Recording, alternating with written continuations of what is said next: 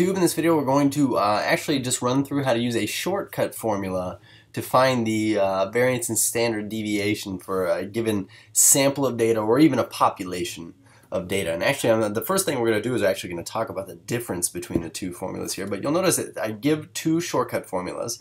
But this first set here it says shortcut for the computational formulas for s squared and s. And so samples, you'll notice that I'm using Roman letters here, s squared, and S. Roman letters, that is like the, the alphabet, say, that we use in English. Uh, whereas when I talk about the shortcut formulas for populations, I use sigma squared and sigma. So first things first, recall that when we talk about S squared or sigma squared, these are both variance, okay? So variance. Uh, and when we talk about uh, S and sigma, we're talking about the standard deviation. Okay, so the standard deviation. So the, the difference between these two, uh, recall, is this. When you talk about a sample, we use Roman letters to indicate this, and where we talk about populations, we typically use Greek letters to indicate this, okay? Uh, so in terms of, are there any other differences between the formulas? Well, let's look at the shortcut formulas. For the very first time, you're going to see that the variance formula here, uh, s squared for a sample, is given as this. And so you'll notice that we have lowercase n here, and we have a lowercase n here, and a lowercase n here. Essentially, in terms of what we're going to need to know, we're going to need to know n, which is the number of data that you are finding the standard deviation for. So if it's a set of 20 data, then we'll know n. So n is a very easy thing to find. The other two things that we're going to need to know are, and this is a difference here, we say sigma of x squared, where x represents our data values, okay? So really what we're saying here is when we say sigma x squared, when we write sigma x squared, let's give this a name, sigma x squared, this is the sum of squared data. So essentially what we're going to do to use this formula is we are going to take all the original data and we're going to square those suckers and we should have that data. We'll, we'll sum those squared values. And then the last thing we need is the sum of x here. You notice that the, the parentheses are on the outside of the sum of x or the sum of our data and we're going to square all that. So when we write this, when we write the sum of the data and square it, this is the, the, it's supposed to be an arrow here, the sum of data squared.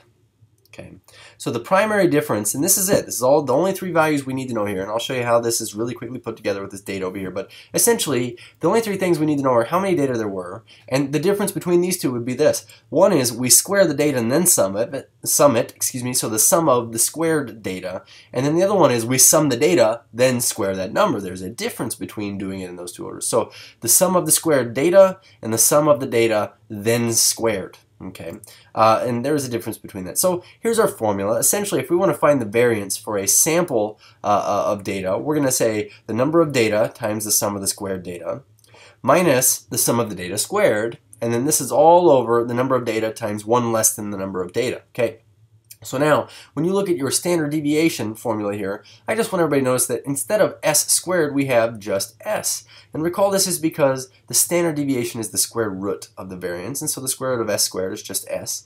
And likewise, when you look at this formula here, I hope you notice that it's just all of this stuff living under the square root roof, okay? So what this means is you guys need to know how to find the variance, and then if you want the standard deviation, then we'll just take the square root of it. So the variance is really all I need to worry about, and I need to know how to find these three values right here. Okay, so really quickly, we're gonna you know digress here, or at least uh, diverge down here to the shortcut formula for the sigma squared and sigma, or variance and standard deviation of a population. And what I want everybody to notice is this. Well, first of all, we're using Greek letters instead of Roman letters because we're talking about a population or a, uh, a, statistic for a whole population, which is called a parameter. And instead of using lowercase n's, of course, we use capital N's to indicate this isn't just the number of data, it's the number of data for an entire population. Okay, so last but not least, uh, what I want everybody else to notice is this in the denominators up here we have n times n minus 1, whereas down here we have n times itself, which is a really big difference. And I don't mean like a mathematical difference, I mean that's pretty significant. Okay, So why do we do this? And then I'll go ahead and go over here and use these formulas, but why do we divide by n times n minus 1 on a sample standard deviation variance, whereas down here we divide just by n times n? And I want everybody to notice this, the, the smaller the number you divide by, the bigger your answer is. When you talk about a ratio, you know, if I said, you know, what's of, I guess, 9 divided by 3, we'd get 3. But if I said 9 divided by 2, my answer just got slightly larger. The reason why with a sample, we actually divide by 1 less than the number that we have here uh, on one of the factors is because it inflates your number slightly. And why is it with a sample that I would want to inflate the average spread of my data? And so what we'll do is here, we'll just kind of try to visualize this here. But let's say I had a data set, you know, my data, or, you know, they're located here. I'm just kind of making this up. And it's spread across this number line. And some of them we have doubled up data. Maybe I have a datum here and a datum here and another one here, another one here. And this is what my data looks like. Okay, I would say, well, just guessing, the average is probably somewhere in here. You know, we say this is the whole population. This is our mean, mu. Uh, and so what we want to do is find the average spread. And you'll notice that I have things that are, you know, kind of located really far away from the average. They're not very typical. These are what we call outliers out here. But because of this, the average spread might be something like this. And so our standard deviation for the population might look like that, you know, sigma units this way and sigma units this way on average. But the idea is, what if we were to grab now a sample of data from the population? That is, the population's pretty big, even though this isn't very big, and maybe I grab this person and I grab this person, this person, this person, you oh, know, they were common, this person, and there's my sample now. Okay, so the average might still be somewhere around what the true average of everybody is. It might be in here somewhere. Of course, we would call this x bar using Roman letters instead of mu because x bar represents the average of our data. But you'll notice that the standard deviation in this case would be very small. Our data is on average packed very closely to the mean. So our s, our lowercase s values, or our standard deviations are going to be really small. So if we want our sample data to help describe the population, because remember, that's what we do a lot of time in statistics. We look at a smaller sample and use that to make inferences about a, a population as a whole. Then what we're going to need to admit is, well, likely we might get something that's really close in average, which we see here, but the standard deviations won't probably be the same because we say that the sample is biased. Okay. So when you see this n times n minus 1, we're going to give that a name, but it is called the unbiased estimator of the mean. Okay, so we're trying to unbias our sample a little bit. So let's go ahead and take a look at our example that I've got over here. It says find the sample variance and standard deviation. So basically, let's find the variance. Uh, and then find the standard deviation. But for the amount of European auto sales for a sample of six years shown, and we'll say that these are in like millions of dollars here. So the first thing I want everybody to notice here is that we're talking about a sample. All right. So since I'm talking about a sample, we're going to be using this first set of formulas up here and really just this first one up here. So my advice is, you know, everybody could have skipped this part of the video if you just want to see the formula in practice, but there are three things we need, and I say always make this grocery list. The first one is this. What is the sum of our data? So when we talk about the sum of our data, all we need to do is grab a calculator and add all these up. This is a very easy thing to do. So we say 11.2 plus 12 plus uh, 11.9, I kind of skipped that one there, plus 12.8, so 12.8 plus 13.4 plus 14.3. Boom. So we get 75.6. So the sum of our data is 75.6. This is great news, as a matter of fact, because once we have this, we have one third of the information we need. As a matter of fact, that's the number that's going to go, boom, right there in our formula. So now the second thing I want is the sum of the squared data. So I'm always going to recommend to people that what you do first is you take all this data, add it together, and then go back and square your data. So for instance, 11.2, we square this, we get 125.44, I believe, is what we just had there. Uh, when we square 11.9, so we get 11.9, square it, 141.66. I'm going to try to write this sideways here. 141.66. This squared is going to be 144. When we square 12.8, 12.8 squared, 163.84. So I'm going to write this above, actually, 163.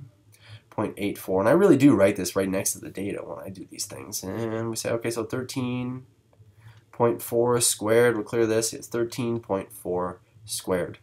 179.56, so 179.56. That'll go here. And then 14.3, last but not least, 14.3, so 14.3, square it, we get 204.49. So here's what we want to do.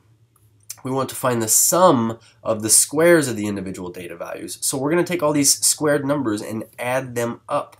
So symbolically speaking, we're saying we are taking the sum of our data that's been squared already. Okay, That's different from the sum of the squared data. So we say, what's the sum of our squared data? We get this, 125.44 plus 141.61 plus 144 plus 163.84 plus 179.56 plus 204.49. We get 958.94, 958.94. So in terms of what we need for our formula, I just want to point this out here. We have the sum of our data, that's going to go in this little bubble. We have the sum of our squared data, that's going to go in this first little portion, and then all we need left is n, and we're going to use a lowercase n because we used a sample data. And I look 1, 2, 3, 4, 5, 6. So once we have all of these values here, and I say, let's just go put them into the formula and then solve, oh man, this is super easy, I'm telling you. So we say s squared is really this with the number of data times, now the sum of our squared data minus the sum of our data squared, and this is all over times n times n minus 1, pardon me.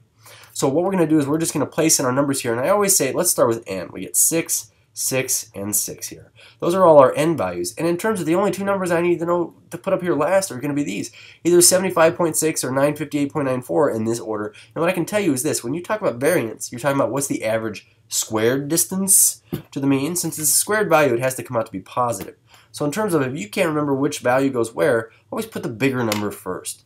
But when you look at your formula, you'd say, okay, well, the sum of our squared data was this value right here, and it's 958.94. So 958.94. And then over here, we're going to put 75.6. So now, this is going to require some calculator savviness. Uh, but basically on the top, let's go ahead and get our top value in the numerator. But we get 6 times 958.94. Enter. So this number right here is just this quantity, and we're going to subtract off 75.6 squared. So I'm going to store this in the memory just in case I lose it. But we say minus, in parentheses, 75.6, square that, in parenthesis, equals. So on top, we get this right here. We get 38.28. And I just want to check this again. If I bring out the memory value, and I say minus, in parentheses, 75.6 squared, in parentheses, take that off, we get 38.28. So I get 38.28, and this is all over 6 times 5, which is 30. So when we divide this out, we're going to say this divided by 30 is 1.276. So we say, without rounding right now, we say 1.276. I'm going to make a little note here. This is our variance, 1.276 squared million dollars or million squared dollars, whatever how you want to refer to it. It's not very sensible until you do this, which is go find s. Which recall, s is the standard deviation, and it's just the square root of the number we just found right here. So I'm going to go ahead and place in this 1.276, and this is a good reason for never erasing this number off your calculator because now I can just hit square root button, and I get 1.13-ish. Now I notice my original data went out to the nearest tenth, we want to go one extra place value, so that's why I'm saying 1.13. And we're going to label this. We say 1.13 million dollars. So if you were to look at this set of data up here and go find the average, I don't know what the average is. We could add them all up and divide by however many there are. As a matter of fact, we could just say we already did add all them up. 75.6 divided by 6. So on average, their annual sales are about $12.6 million. But what this is saying is uh, give or take $1.13 million above or below that on average. Data lies within, on average, $1.13 million of this. Okay, cheers.